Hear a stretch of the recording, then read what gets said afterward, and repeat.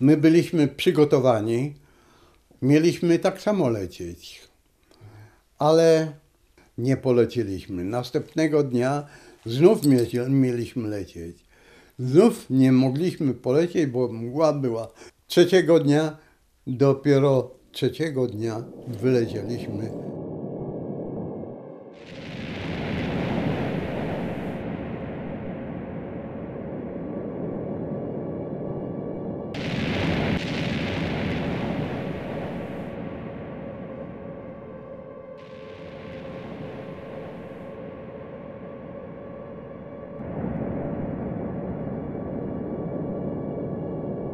Generał Sosabowski przyjechał do, do naszego batalionu. Ja wtedy pełniłem służbę z, na tym, w tym rejonie, nie w batalionie, bo batalion to było całe miasteczko Peterborough, ale tu były jedynie dwie kompanie i, kompanie, i mm, pluton y, saperów i pluton y, karabinów maszynowych z nami. Także y, tutaj, gdzie my staliśmy, ja pełniłem służbę. No jak przyjechał do, dowódca batalionu, kazał zdjąć mnie też jako służbowemu. Melduję mu, że jestem na służbie. Mówi, nie szkodzi, proszę zdjąć but. Pokazałem nogi. No, ja nie miałem specjalnie odparzonych nóg, ale niektórzy z moich tych kolegów mieli odparzone stopy. On wygłosił taką mowę. Mówi, chłopcy, pamiętajcie o tym, że te ćwiczenia, które ja zarządzam, to nie dlatego, żeby was utrudnić, utrudzić, tylko żeby wam pomóc. Bo w czasie akcji nie będzie sentymentu. Niemiec nie będzie patrzył na to, czy jesteście zmęczeni, czy je- macie odparzone nogi, czy, czy tego. Będzie każdej chwili zagrażała wam śmierć czy kalectwo. Więc musicie przyzwyczaić się do tego. No i tym nas uspokoił, no uspokoił. Jak można uspokoić człowieka, który ma odparzone nogi. My byliśmy przygotowani, mieliśmy tak samo lecieć, ale nie polecieliśmy. Następnego dnia znów mieli- mieliśmy lecieć. Znów nie mogliśmy polecieć, bo mgła była.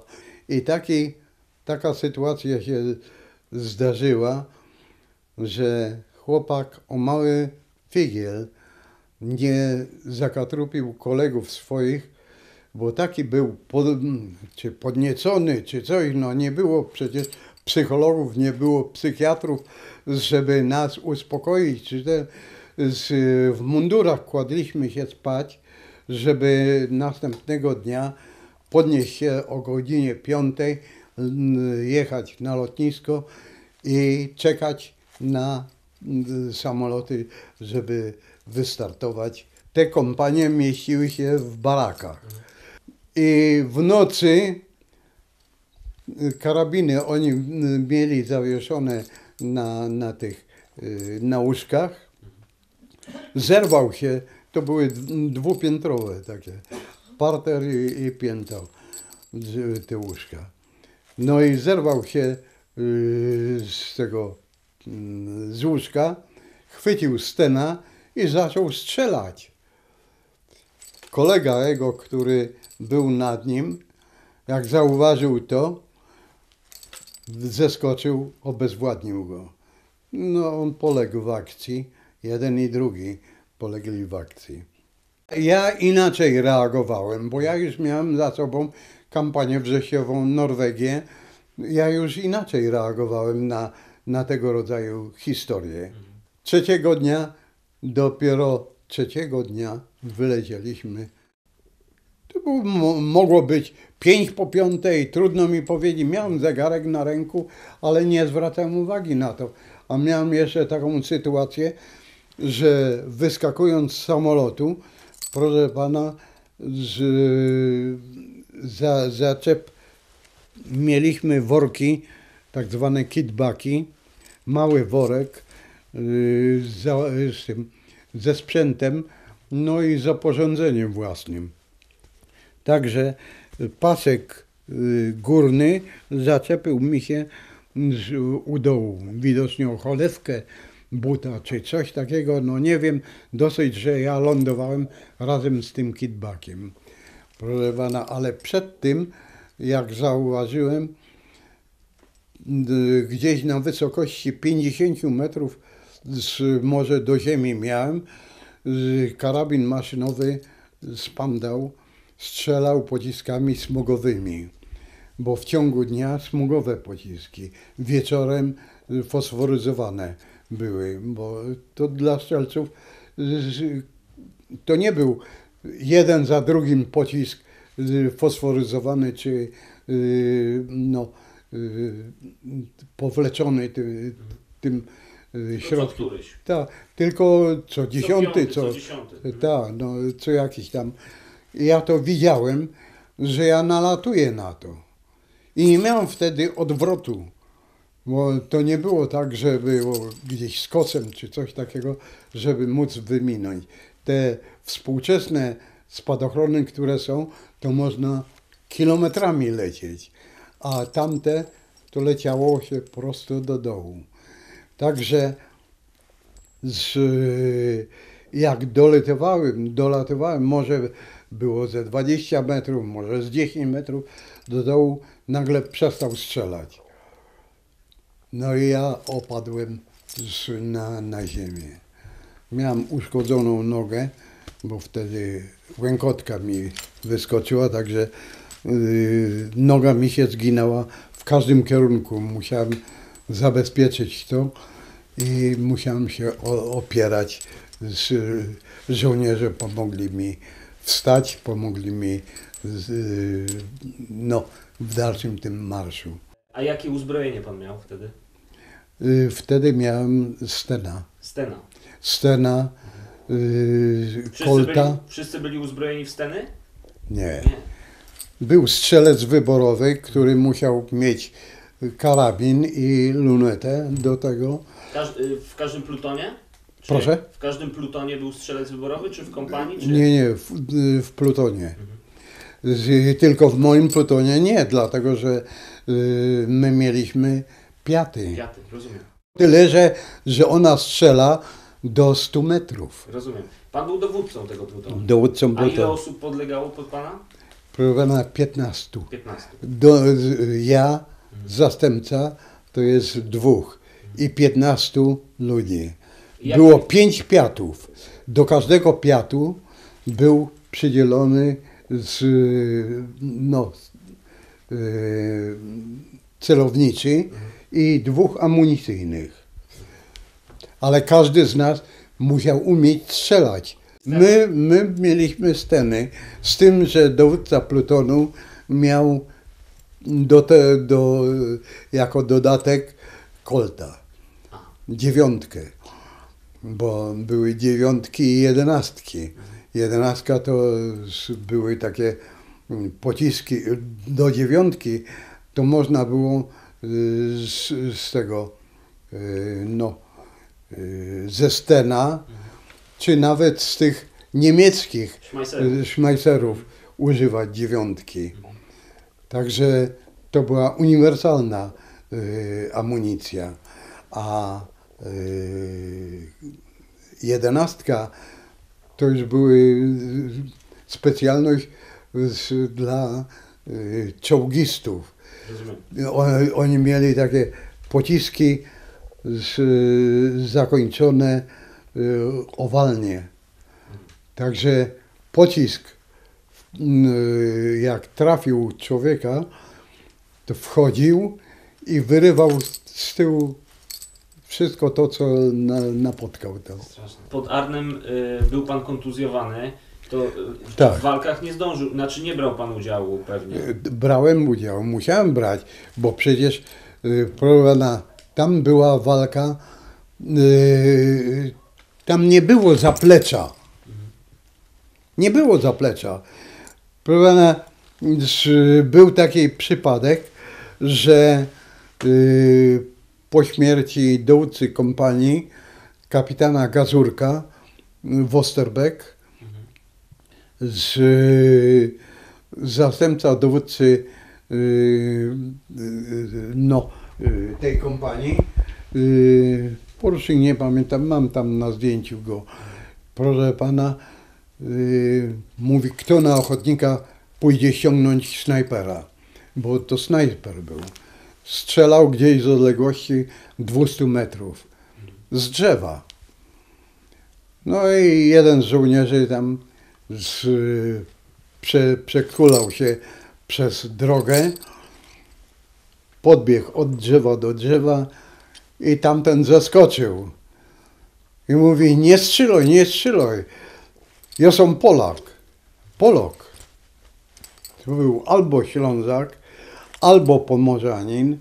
No trudno powiedzieć.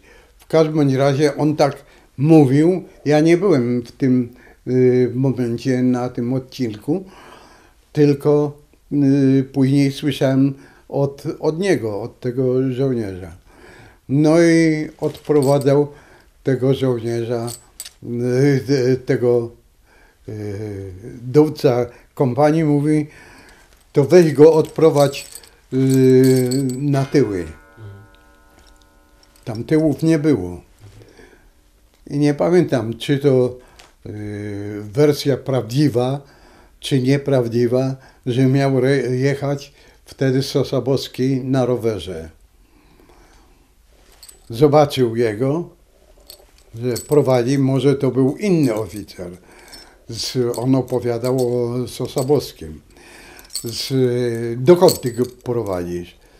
A on mówi, na tyły. A gdzie ty masz tyły? Tu wszędzie Niemcy, Anglicy i my jesteśmy. Nie ma tyłów u nas. Odprowadził go parę metrów dalej, zastrzelił.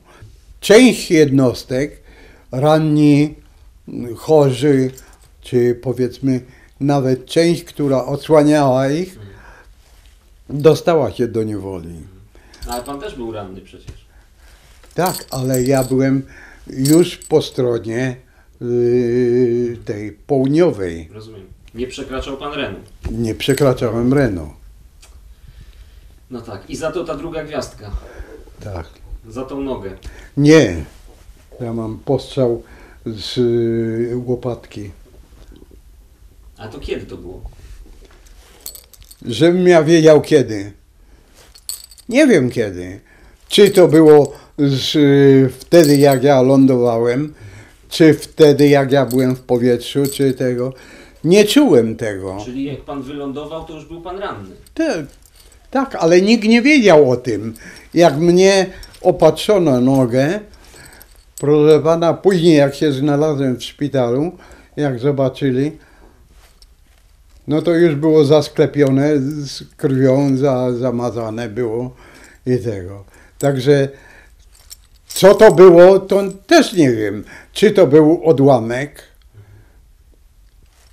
czy no po, czegoś, czy to był pocisk, bo nie pokazano mi tego. W tym szpitalu, do którego ja tam przyszedłem, był taki przypadek, że ten właśnie y, podchorąży, y, który y, leżał jako pierwszy, później mój żołnierz miał obie nogi złamane, leżał jako drugi, trzeci Niemiec był, także to było pod namiotem, bo tam skrzydło szpitala w Nimegen było zrąbane, byli zabici, ranni i, i ten. Więc namiot był rozpięty. I tam byli zarówno Niemcy, Anglicy, Fra, y, nie Fran, y, Kanadyjczycy, y, Polacy też byli, no Niemcy, tak jak powiedziałem. Proszę jak były naloty na most y, tych sztukasów, to oni cieszyli się, że niedługo my będziemy tutaj i, i tak wypowiadali. Zobaczycie, co, co z wami będzie.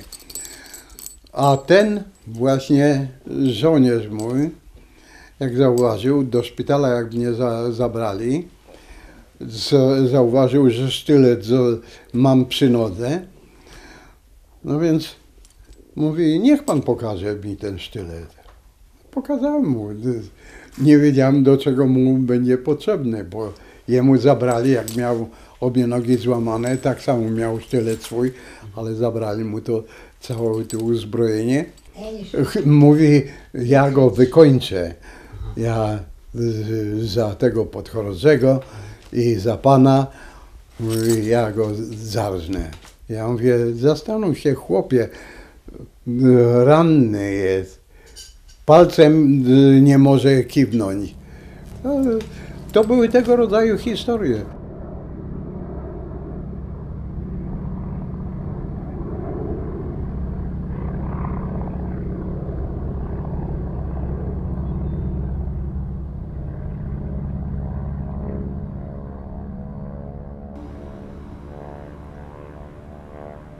Przypuszczam, że ten materiał nie był dla Ciebie żadnym zaskoczeniem, a może jednak coś ciekawego udało się wyciągnąć?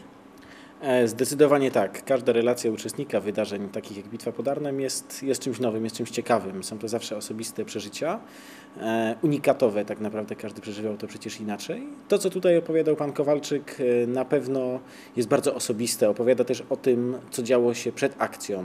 Te straszne nerwy żołnierzy, którzy, którzy trzymani byli w zasadzie kilka dni w gotowości bojowej, w napięciu, czekając na to, aż, aż zostaną rzu- rzuceni w ogień, w ogień walki. Tak, podobno e, wielu kombatantów właśnie mówi o tym, że te kilka dni przed akcją, te kilka dni w czasie akcji, kiedy odwoływano loty, kiedy oni wracali czasami, byli już w samolotach, musieli wracać, e, powodowało, że no, dochodziło do różnych spięć nawet między samymi żołnierzami. Jak pokazują relacje w Instytucie Sikorskiego, relacje z Brygadowej Służby Zdrowia, doszło nawet do próby samobójstwa wywołanej, wywo- wywołanej tym, tymże stresem. Trzeba sobie powiedzieć, że to było 48 godzin, bardzo długie 48 godzin, ponieważ oni mieli skakać 21 września, zostali zrzuceni, e, znaczy mieli skakać 19, zostali zrzuceni 21, czyli z dwudniowym opóźnieniem. E, tam było potworne napięcie. Oficerowie i podoficerowie stawali przed ogromnym wyzwaniem, żeby to wojsko utrzymać w ryzach. Oni po prostu wsiadali do samolotów, e, oni już po prostu nawet nie mogli jeść, ponieważ to, co zjedli, e, bardzo szybko zwracali. Napięcie nerwowe było przeogromne. E, Zarazem trzeba było wszystko utrzymać w tajemnicy, że taka jednostka ma wy, wylecieć do akcji. Ale wróćmy w zasadzie miesiąc wcześniej, powstanie warszawskie. Przecież ta brygada przez cały w zasadzie okres swojego istnienia czekała na taką szansę, na taką szansę, żeby polecieć prosto do Polski, żeby móc walczyć. Nie polecieli do Warszawy. Tak, trzeba sobie powiedzieć e, niestety szczerze, e, że troszkę wmówiono tym żołnierzom, że ten desant w Warszawie będzie możliwy. On absolutnie ze względów politycznych i przede wszystkim technicznych nie był możliwy. Natomiast oni byli przeświadczeni i przekonani o tym, wstępując do tej brygady, wylewając naprawdę z siebie już wszystkie poty na tych morderczych treningach, że oni są szkoleni po to, żeby wesprzeć ogólnonarodowe powstanie w kraju. I oni byli o tym całkowicie przekonani. W momencie wybuchu Powstania Warszawskiego powiedziano im, że nie, że, że wy jesteście tutaj, e, Warszawa płonie, Warszawa walczy tej swojej tragicznej walce, natomiast wy nie polecicie do Warszawy, wy polecicie gdzieś indziej, polecicie do Holandii, do kraju, o którym pewnie wielu z was tak naprawdę nie słyszało wcześniej. E, Dowódca powstania generał Burkomorowski, e, wydaje mi się z tego co pamiętam, e, apelował o to, żeby pierwsza brygada spadochronowa wzięła udział w powstaniu warszawskim.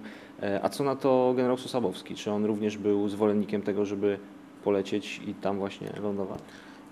Tak, generał Sosabowski, mimo całej swojej mądrości wojskowej, niestety, jak pokazują również dokumenty archiwalne, nie do końca e, zdawał sobie sprawę, nie do końca może chciał w to wierzyć, e, w to, że lotnictwo nie jest w stanie przy użyciu aktualnych środków przerzucić tej brygady do Warszawy. To skończyłoby się masakrą już w powietrzu.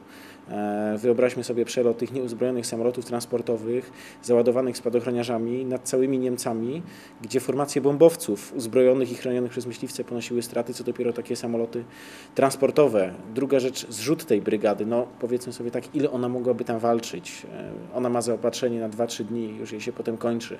Prawdopodobnie dołączyłaby niestety do reszty tych tych powstańców, którzy ginęli bądź też byli brani do niewoli. Także generał Sosabowski oczywiście chciał, ale myślę, że była to troszkę już taka utopijna wizja. I zapewne brygada nie zmieniłaby nic, jeżeli chodzi o losy powstania warszawskiego. Ale zostawmy powstanie. Em, Mamy lot e, w, i wzięcie udziału w operacji Market Garden. Lot, e, spadochroniarze wyskakują z tych samolotów. Tutaj pan Stanisław e, mówi, że to jest moment taki no w zasadzie straszny, ponieważ oni skaczą tak naprawdę na głowy Niemcom. Niemcy od razu zaczynają do nich strzelać. Zgadza się. E, Niemiecki e, opór był dosyć silny, e, mimo że musimy też wiedzieć o tym, że spadochroniarzy zrzucano z wysokości 180 metrów. Spadochroniarz taki spadający z pełnym ekwipunkiem leciał do ziemi około 30-35 sekund. Trafić w takiego spadochroniarza nie jest łatwo.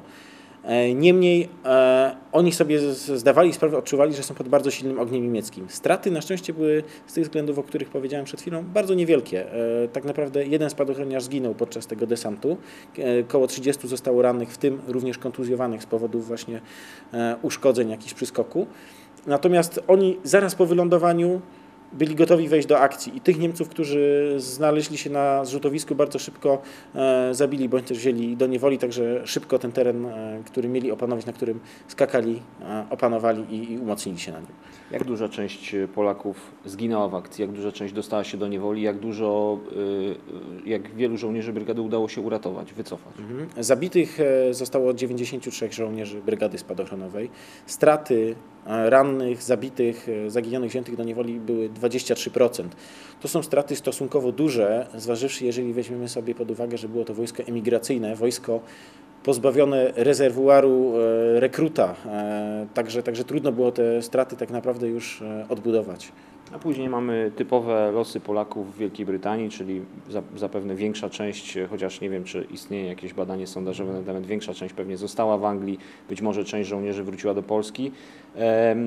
Natomiast takie dość smutne są losy dowódcy e, generała Sosabowskiego, który e, oczywiście wszyscy to wiedzą, został obwiniony za, za klęskę pod Arnem.